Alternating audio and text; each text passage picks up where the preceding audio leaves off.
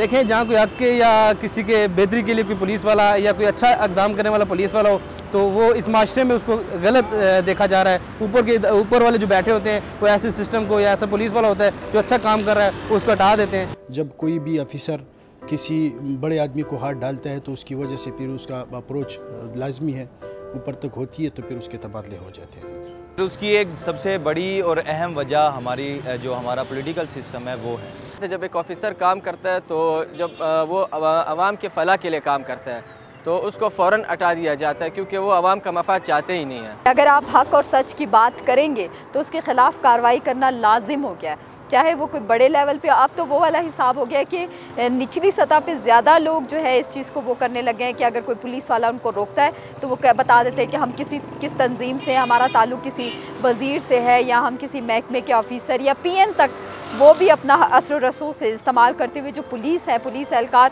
ان کو اس طرح ڈیگریڈ کرتے ہیں کہ وہ اپنا فرض کی ادائیگی وہ بھرپور طریقے سے نہیں کر سکتے۔ اس میں سیاست کا عمل دخل زیادہ ہے۔ اور با اثر لوگ بھی اس محکمے پہ اثر انداز ہوتے رہتے ہیں۔ اس کی وجہ سے جو ہے پولیس والے جو فرض شناسی سے کام کرنا چاہتے ہیں ان کو فرض شناسی سے کام نہیں کرنے دیا جاتا۔ ان پر پریشر بہت زیادہ ہوتا ہے حتیٰ کہ وہ اپنے سیلری تک کی بات نہیں کر سکتے۔ ہیں ہماری پولیس خراب نہیں ہے کیونکہ ان لوگوں کو جو کام کرنا چاہتے ہیں ان کو سامنے نہیں آنے دیتے اور جب تک وہ سامنے نہیں آئیں گے تو کریں گے کیا؟ اور جب ان کو جوش اور جذبہ ہوتا ہے تو ان کو ہٹا دیتے ہیں۔